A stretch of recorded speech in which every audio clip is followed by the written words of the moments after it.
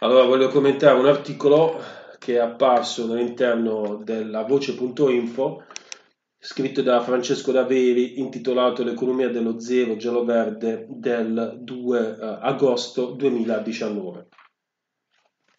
Si tratta di un articolo che fa riferimento al fatto che ovviamente la crescita economica del prodotto interno lordo è pari a zero e che questo zero è sia uno zero rispetto al trimestre precedente ma è anche uno zero rispetto all'anno precedente.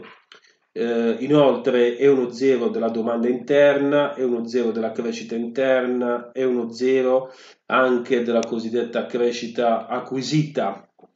Uh, chiaramente da Vevi si domanda cosa si può fare, ci vuole un'accelerazione per fare in modo che questo, uh, diciamo, uh, che ci sia una crescita, che questo zero spaccato diventi uno zero virgola per passare dallo 0 spaccato allo 0, serve un'accelerazione. Questa accelerazione come può essere prodotta? La, da Veri dice può essere prodotta con elementi eh, diciamo, dell'economia estera, internazionale, ed anche elementi dell'economia interna italiana. In modo particolare eh, si fa riferimento alle tensioni tra Stati Uniti e Cina. Eh, chiaramente eh, diciamo, questa uh, dimensione è una dimensione che preoccupa molto gli uh, operatori, soprattutto internazionali, perché chiaramente se la Cina cresce più degli Stati Uniti, cioè Daveri dice che uh, USA e Cina sono in questo mom- momento in contesa, se gli Stati Uniti crescono di più, gli, i cinesi potrebbero crescere di meno nel senso delle esportazioni europee, ovvero gli USA potrebbero importare maggiori prodotti rispetto, uh, se crescono, rispetto a, uh, e quindi i cinesi potrebbero importare minori prodotti europei. Però dice davvero in realtà questo, l'impatto diciamo, della crescita degli Stati Uniti o della Cina sulle esportazioni italiane e europee è un impatto differenziato per esempio la Germania esporta l'8,8% negli Stati Uniti e soltanto il 6,8% in Cina. E uh, quindi se crescono gli Stati Uniti uh, le esportazioni, uh, se, se, diciamo così, se i tedeschi dovessero scegliere, potrebbero essere maggiormente favoriti da una crescita degli Stati Uniti rispetto ad una crescita dei cinesi. E lo stesso vale anche per gli italiani con un'esportazione negli Stati Uniti pari al 9,2% e un'esportazione verso i cinesi pari al 3,8%. Anche per i francesi, con un'esportazione verso uh, gli Stati Uniti del 7,3% e con un'esportazione verso i cinesi del 4,1% e anche per gli spagnoli, con un'esportazione negli USA pari al 7% ed un'esportazione verso i cinesi del 2,3%. In modo particolare è assolutamente necessario considerare quindi che la questione eh, diciamo, eh, del dazi internazionali è una questione che impatta molto sull'economia europea e chiaramente il grado di integrazione dell'economia europea rispetto agli Stati Uniti è più ampio rispetto al grado di, di integrazione con l'economia cinese. Daveri però dice che ci sono anche degli elementi diciamo, nella, nell'economia italiana che potrebbero migliorare e portare ad un'accelerazione. Questi elementi sono da un lato il reddito di cittadinanza che potrebbe portare ad una crescita dei consumi,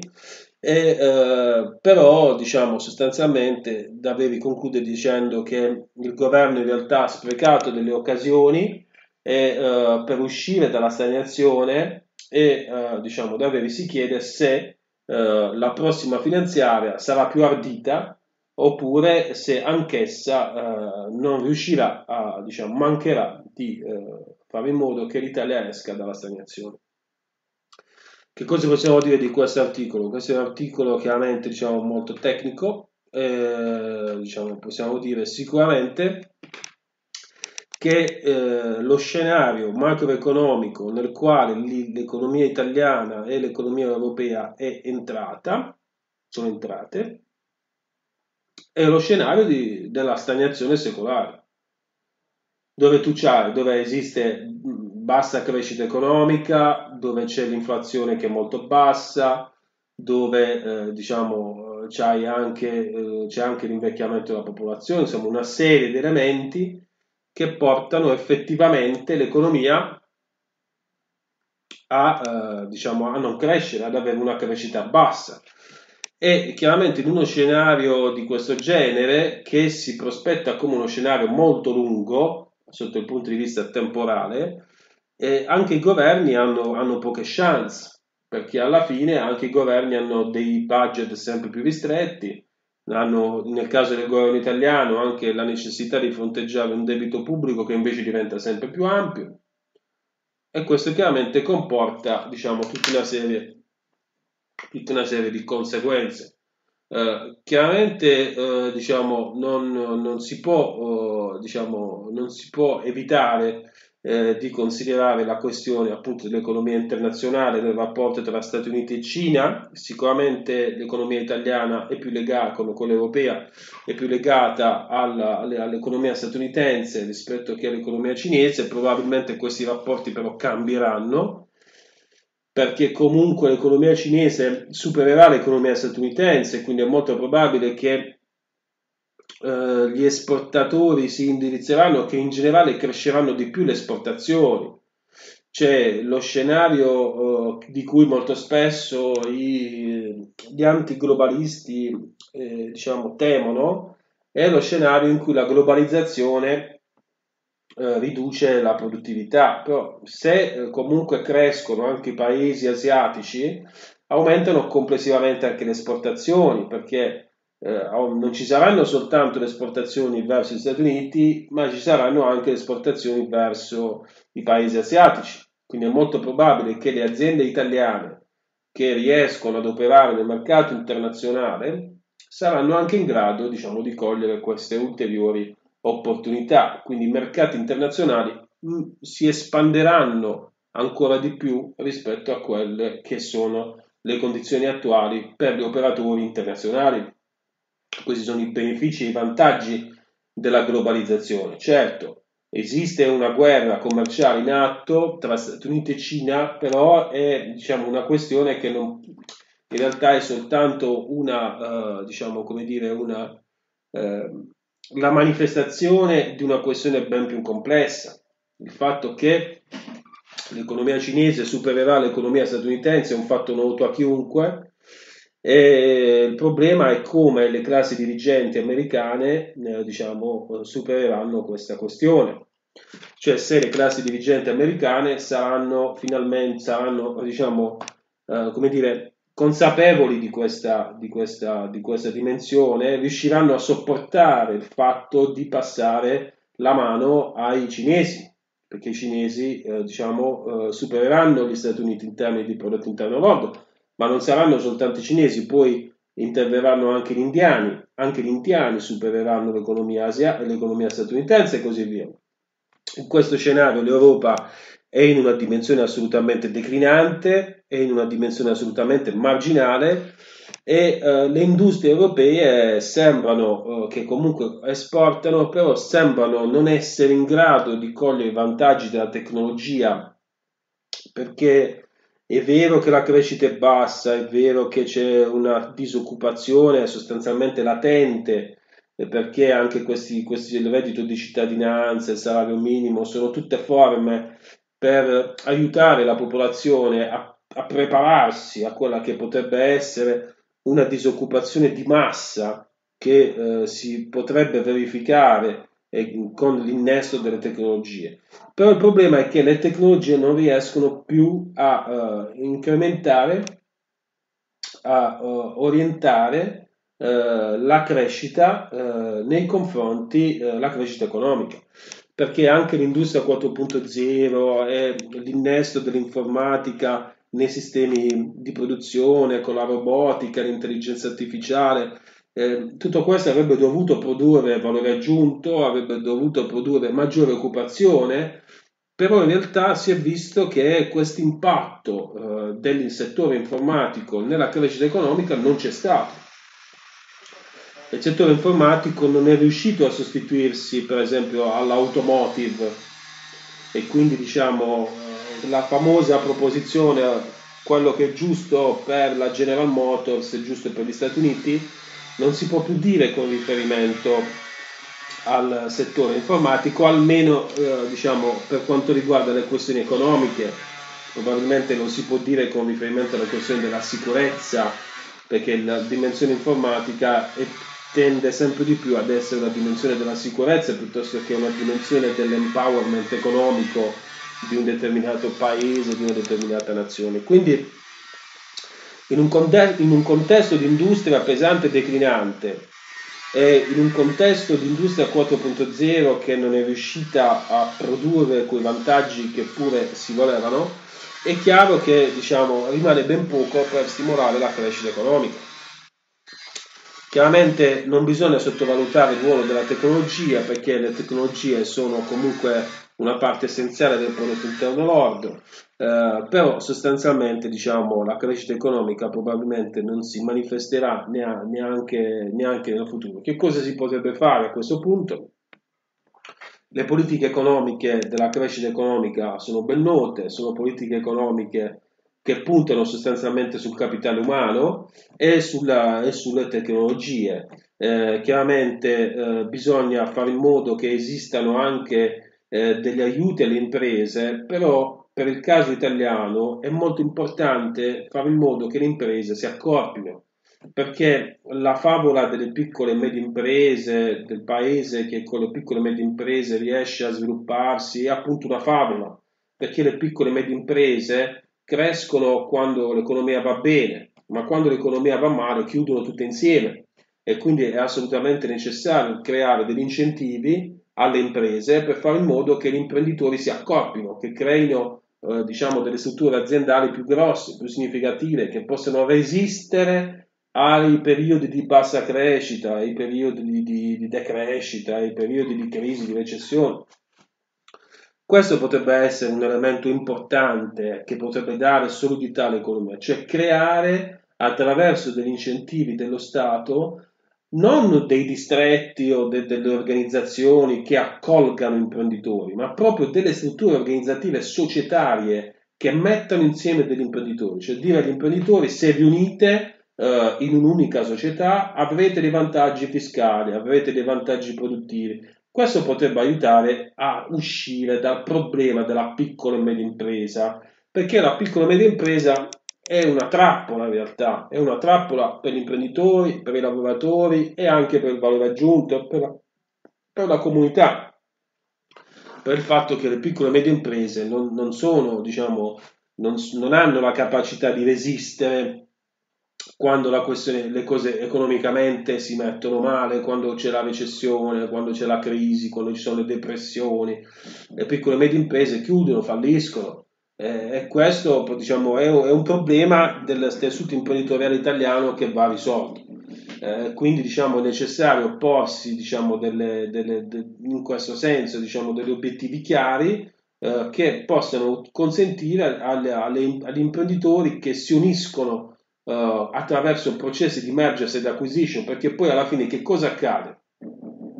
Che i processi di mergers and acquisition che sono assolutamente indispensabili per produrre uh, una crescita economica, per produrre delle aziende che siano in grado di stare nei mercati internazionali, vengono svolti soltanto nelle imprese di medie e grandi dimensioni.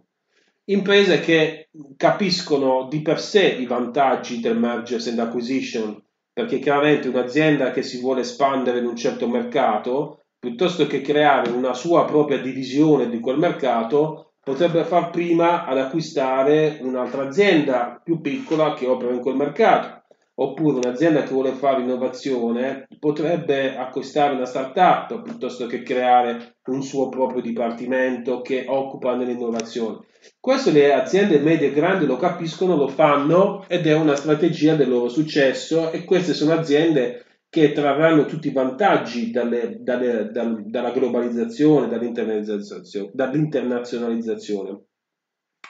Invece le piccole e medie imprese non riescono a fare queste attività di, mergers, di merger and acquisition sia perché diciamo, non ne hanno interesse, a volte perché manca la cultura imprenditoriale, soprattutto perché mancano gli incentivi e, e, e questo è chiaramente un limite alla crescita economica. E questo limite diciamo, oh, grava sull'economia del paese perché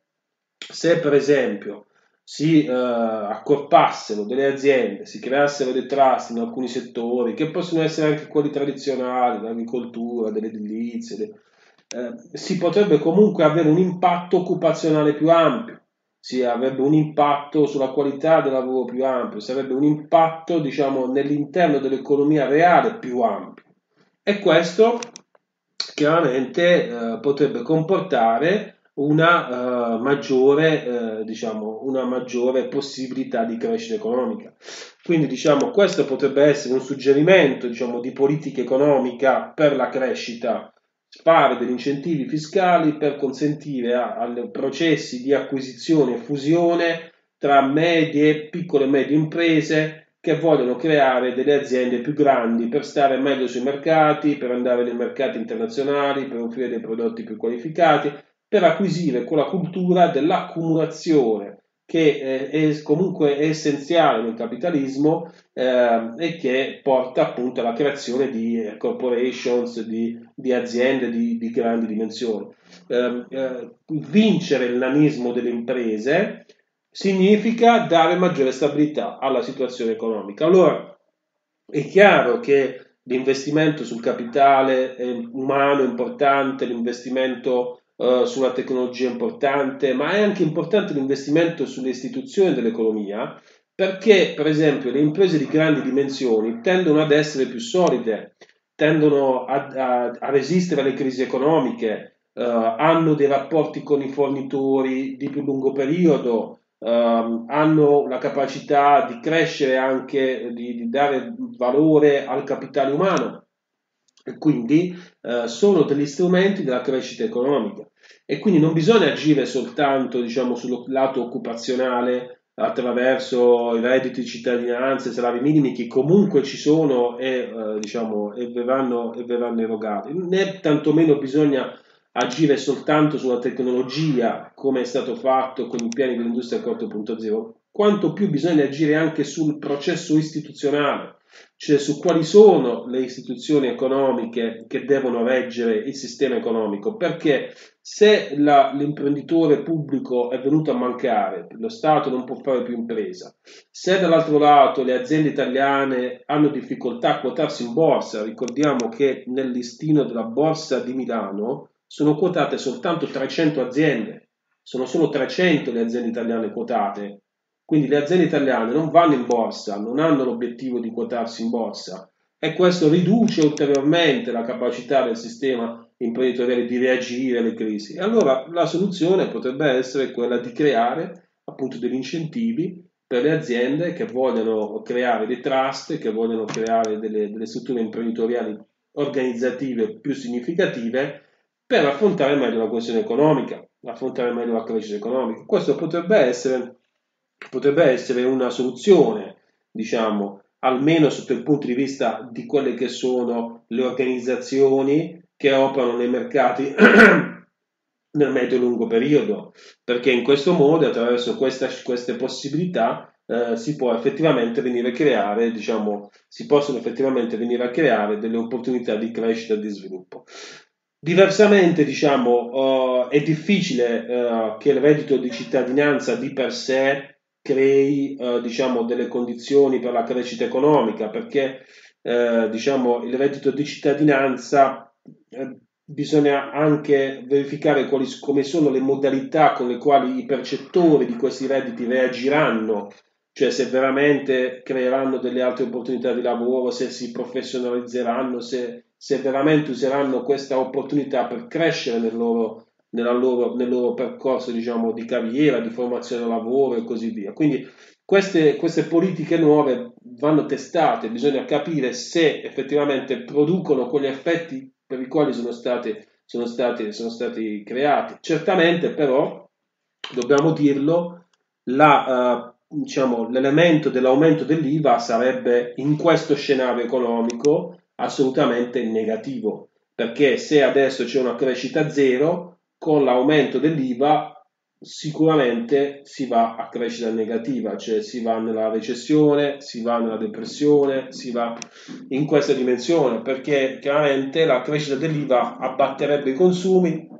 considerando che i consumi il 75, che il PIL il 75% è fatto di consumi, quindi se i consumi si riducono, si riduce il 75% del PIL e quindi essendo il PIL, la crescita del PIL uguale a zero, la riduzione dei consumi intaccherebbe il 75% del PIL e quindi eh, sarebbe crescita negativa. Questo chiaramente sono, uh, sono cose, diciamo, sono elementi da,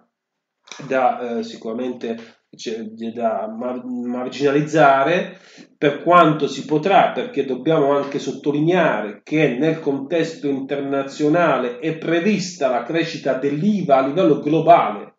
cioè i paesi faranno crescere l'IVA a livello globale per un semplice motivo che gli stati non riescono più a controllare la ricchezza che si crea nei redditi, non riescono più a controllare la ricchezza patrimonializzata perché è costoso per lo Stato andare a verificare quelle che sono le dimensioni della ricchezza immobilizzata, è più facile verificare gli acquisti e quindi è sicuro che l'aumento dell'IVA avverrà in ogni caso. Probabilmente avverrà in concomitanza ad una riduzione delle tasse sui redditi, però comunque ci sarà un aumento dell'IVA perché questo è un indirizzo internazionale che è stato preso da vari paesi e che va anche oltre l'Unione Europea. Quindi diciamo eh, questo elemento va, va considerato, insomma. Però ecco, se almeno l'aumento dell'IVA venga compensato da una riduzione delle tasse sui redditi o su alcune tipologie di reddito. Questo potrebbe essere una soluzione perché effettivamente diciamo, le strategie per sfuggire alla tassazione del reddito sono molto ampie, invece la strategia per sfuggire all'IVA è praticamente inesistente. Anche l'evasore fiscale deve pagare l'IVA perché comunque farà degli, delle, delle, degli acquisti, se non a titolo diciamo, di uh, impresa, almeno a titolo personale. E quindi questo significa inevitabilmente che uh, diciamo, il sistema tributario preferisce questo tipo di imposizione rispetto all'imposizione sui redditi. Chiaramente questo però economicamente, macroeconomicamente ha un impatto negativo perché riduce i consumi, perché riduce il PIL, e essendo la società orientata ai consumi, chiaramente questo ha un, un effetto distruttivo, diciamo. Se poi consideriamo che eh, anche l'impatto sul commercio, perché poi alla fine la maggior parte degli, acquisti si indirizzano sempre di più su internet e probabilmente l'aumento dell'IVA potrebbe essere un ulteriore incentivo per le persone per aumentare gli acquisti da internet e quindi questo potrebbe avere anche un impatto sul piccolo e medio commercio, potrebbe distruggere alcune attività commerciali, insomma gli effetti dell'aumento dell'IVA sono nefasti e sono assolutamente diciamo, negativi, sono assolutamente da, uh, diciamo, da eliminare con delle politiche economiche che invece puntino a rafforzare l'offerta, a consentire aggregazioni tra imprenditori, a creare aziende che siano più grandi, che sappiano stare meglio sui mercati internazionali, che abbiano un'occupazione di qualità e che eh, utilizzino le tecnologie nuove per produrre dei servizi e dei prodotti efficienti. Questa potrebbe essere una soluzione diciamo, al uh, processo diciamo, macroeconomico di stagnazione nel quale sembra che l'Italia, uh, l'Europa, si sia completamente avviata.